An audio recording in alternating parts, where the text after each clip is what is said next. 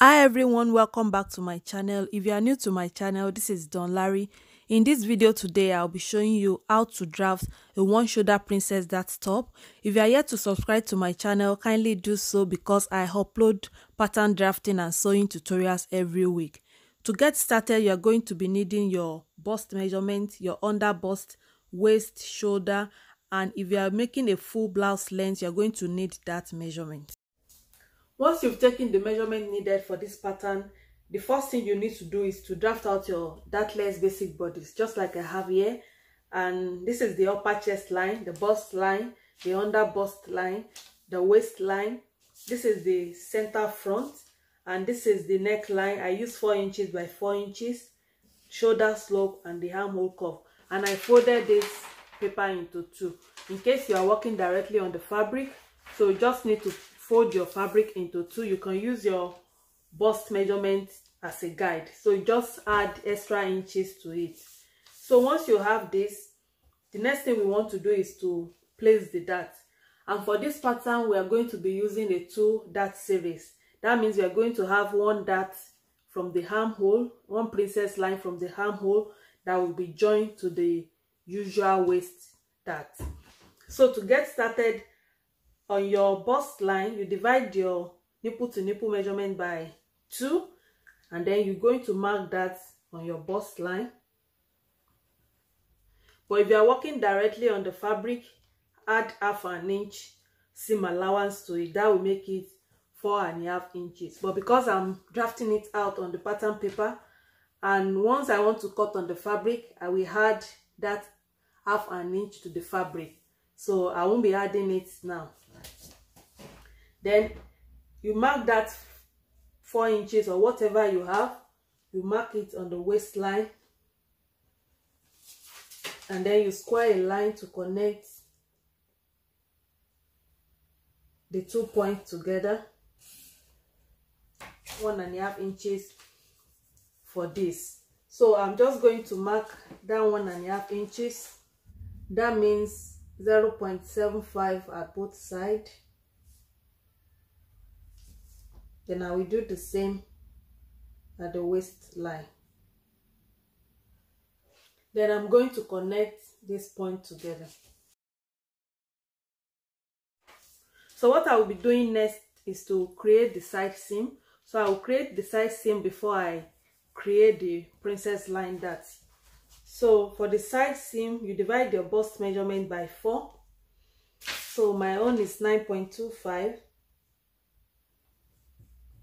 9.25 then i'm going to add extra two two and a half inches seam allowance to it. And then at the waistline divide your waist by four so i have seven and a half plus one and a half inch that i use for the dart. So that will make it nine inches. Then i will add two inches seam allowance to it.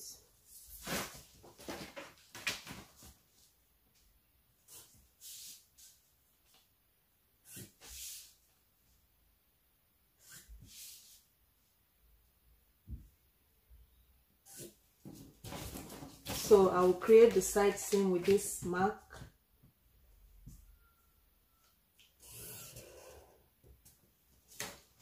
now that I've created the side seam the next thing I want to do is to create the princess line dart and to do that I'm just going to make a little adjustment to this shoulder slope. So I want to take away some inches. So I'll be taking away one and a half inch from this point to this point. So it actually depends on your preference. You can decide to leave it this way and attach your sleeve to it but if you are making it a sleeveless top or you want to attach something like a circular top to it you need to take away some inches at this point. So i've taken away one and a half inch and this one and a half inch now i need to connect it in order to create the new armhole curve so i'm just going to use my curved ruler to reshape this so then I'm going to shape it down like this.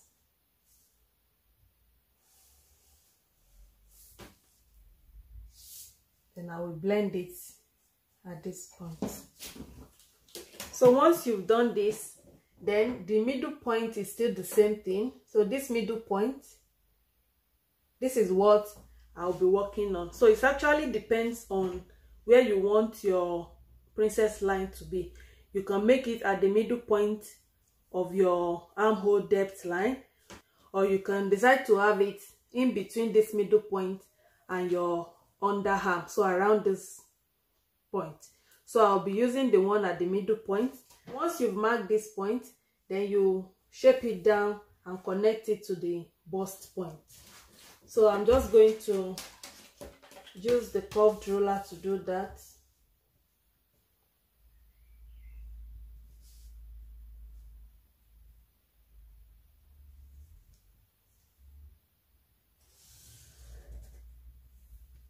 will mark it down like this and I will connect it to the bust line as well. Just like this. The next thing you want to do is to add this one inch, that intake. You need to add it to this line, just like this. You measure down one inch on this second line. So you need to measure it and you extend this princess line. So when, when you separate this panel from this panel and you want to join the two together you are not going to be short of fabric. So that is the reason why you need to add this one inch. So once you have this then you come to your bust line again. You measure two inches up and two inches down and then you're just going to create a kind of notch around that place. So so the reason why it is very important to place these notches is because we're going to be separating this panel from this panel and this will serve as a guide for you. So that is why you need to place these notches. So what i'll be doing now is to cut out these front bodies. Then i'll just label this as one and this as two. So i'll label this as one and this as the second panel. So i'll be cutting this out and after cutting it i will shape the neckline. So i will just add joining allowance to it. So i'm going to add one inch. So this is the joining allowance. So this one inch extension that we have we are going to connect it to the armhole. I forgot to do that so you, you need to connect that to the armhole so just like that. And then we're going to cut it out.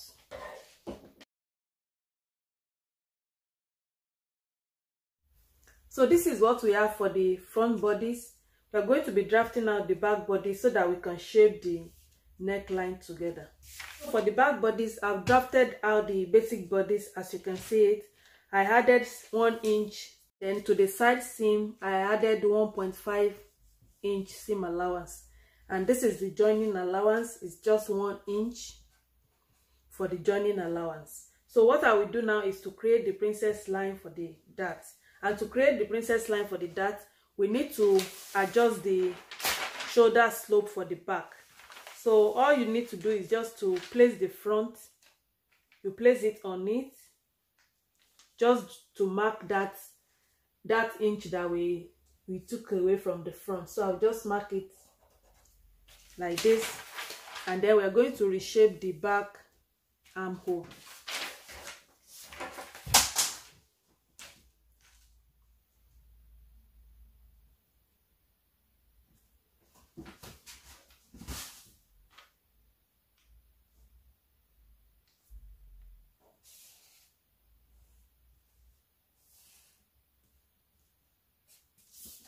so this is the new armhole for the back. Then we can now create the princess dart but if you don't want the princess dart for the back you can use just the waist dart which we already have in place here. So i'll be using the princess dart then i will just connect this point this middle point. I will connect it directly to the bust line. So I'll be using my curved ruler to do that so just like this then we can cut it out. But before I cut it out I'll be making a little adjustment to the center back of this pattern. This pattern is for me. And my front waist length is longer than my back waist length that is because of my bust. So what I have for my front waist length is 16.5 inches. And for my back waist length I have 15.5 inches so all I need to do now is to take away down one inch. If I don't take it away I will be having unnecessary folding at the zip area. To do that I will go up by one inch. Yeah you know I already have the joining allowance. Then I will shape from from the side seam to this point. So I'll just shape it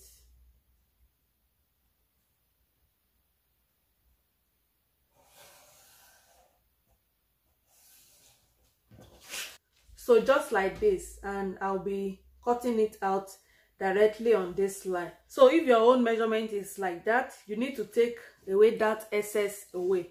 If not so you're going to be having unnecessary bulging at the zipper area. So i'll be cutting this out and once i cut it out we're going to be shaping the shoulder.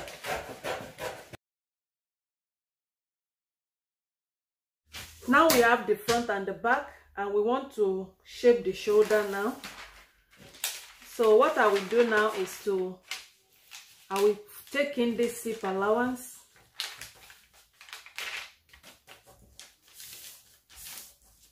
So i folded the zip allowance in. So i'm assuming this is the right side of my fabric. So i will turn this so in case you are working directly on the fabric so you need to turn this up. So right side will face down wrong side will face up. And for the front the wrong side will face the wrong side of the back and the right side will be up just like I have here. So that is how you will do it. Then you place the two on each other. Once you place the two on each other make sure the two align together at the shoulder area just like this. Then we want to shape the shoulder. So it depends if you want to extend your neck width you can do that before you shape it out. So i'll be extending it by half an inch. I have four inches already so i'll make it 4.5 inches. So i'm just going to take away half an inch from this like that. So for the neck depth i'll be using six inches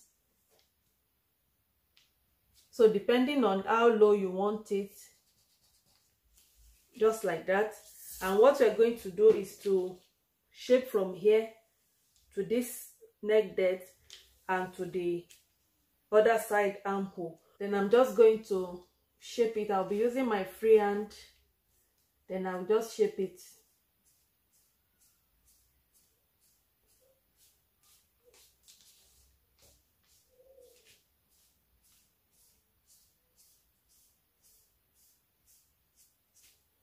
so just like this and this is what we're going to be taking away.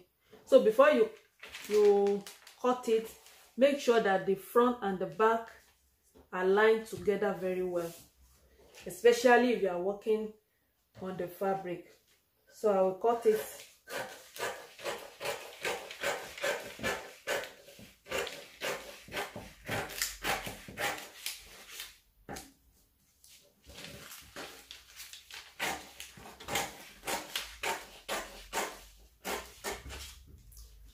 so this is how the front and the back bodies will look like. So these are the wrong side of each of the bodies. So what we will do now is to now trace out all the dots so i will do the front bodies first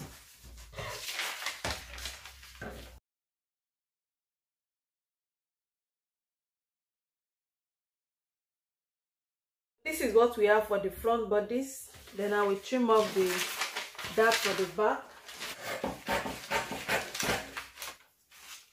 So i will use this as the guide for the back princess dart.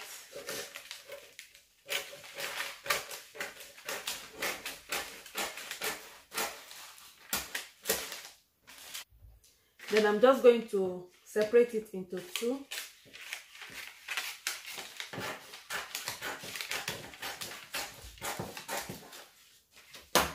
like this. So this is the zip allowance for this side. And this is the zip allowance for the other side. So you fold it and then you're going to trim off. So you fold it like this. And at this side you're going to have this excess around this place. So you need to trim that off so that it won't create any unnecessary stress for you when you are fixing the zip so i've cut it out on the fabric as you can see it and i added seam allowance around the neckline and the dart legs. The next thing we want to do is to join all these panels together. So this center panel you need to connect this panel. You place it on it like this then you sew it. You do the same thing to the other side. And you need to cut out the lining exactly the same way you cut out the fabric so once you connect the panels together both on the fabric and on the lining you're going to use the lining to turn the main fabric to the wrong side. Then you do the same thing for the back. So i will show you the final outcome of these pieces this is the final look of the pattern. It came out okay. If you don't want your neck depth to be as low as this you can make use of 5 inches instead of 6 inches that I use for this pattern. Other than that, every other thing is nice. Thank you guys for watching. I hope you enjoyed this video. Don't forget to subscribe, like, comment and share. Then I will see you again in my